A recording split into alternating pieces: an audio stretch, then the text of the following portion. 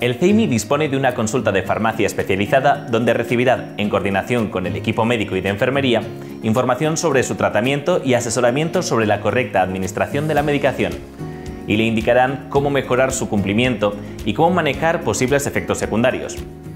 Los farmacéuticos del CEIMI, además, serán quienes les dispensen la medicación indicada en su tratamiento.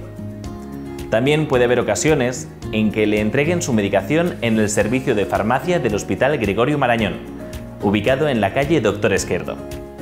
Si usted está en tratamiento con terapias biológicas, es muy posible que le surjan dudas. A continuación, vamos a responder a algunas de estas preguntas con quien tiene las respuestas, la farmacéutica Esther Chamorro. ¿Cuándo debo ir al servicio de farmacia a recoger la medicación? Para la mejora de la calidad de nuestra atención, el servicio de farmacia del CEIMI dispensa la medicación con cita previa. Recibirá en su domicilio una carta con su cita programada, sin necesidad de que realice ninguna solicitud. Debe acudir a recoger su medicación el día de su cita programada. Si no puede acudir ese día, puede llamar por teléfono para cambiarla.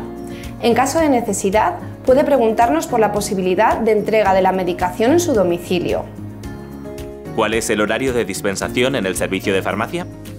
Nuestro horario de atención es de lunes a viernes laborables de 8 y media a 2 y media. En verano no se modifica el horario de dispensación. ¿Puede venir otra persona a recoger mi medicación? Sí, siempre que traiga la receta en vigor y la tarjeta sanitaria de la Comunidad de Madrid del paciente o foto o fotocopia de la misma. Si no tiene tarjeta sanitaria de la Comunidad de Madrid, debe presentar el documento de su desplazamiento temporal activo, como mínimo para cubrir el tiempo que se extiende la utilización de la medicación que le entregamos. No es necesaria una autorización firmada por el paciente ni su DNI. ¿Cuánta medicación puedo llevarme cada vez que acuda a la farmacia? Como norma general, se entregará medicación para dos meses. Si tiene problemas para recoger la medicación cada dos meses, deberá comunicárselo a su médico farmacéutico. ¿Cómo debo desechar las plumas y jeringas utilizadas? Deberá introducir la medicación utilizada en el contenedor amarillo que se le ha proporcionado en el servicio de farmacia. Cuando estén llenos dos tercios de la capacidad del contenedor, entréguelo en el servicio de farmacia y se le dará uno nuevo. ¿Qué debo hacer si he tenido problemas con la pluma o jeringa precargada? No tire el dispositivo estropeado.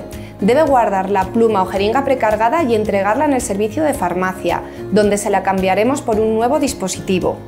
Para que no se quede sin medicación antes de la siguiente cita programada, recuerde que debe llamar por teléfono para adelantarla. Y recuerde, el personal sanitario estará siempre a su disposición para resolver cualquiera de sus dudas. Se encuentra en las mejores manos.